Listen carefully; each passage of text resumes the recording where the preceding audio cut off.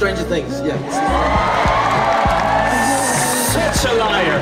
He has never seen Stranger Things. He has never seen Stranger Oh shit, it's filming. Cute.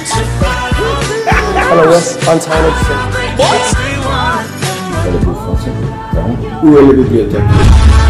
Oh shit, it's filming. Cute. Go with the flow.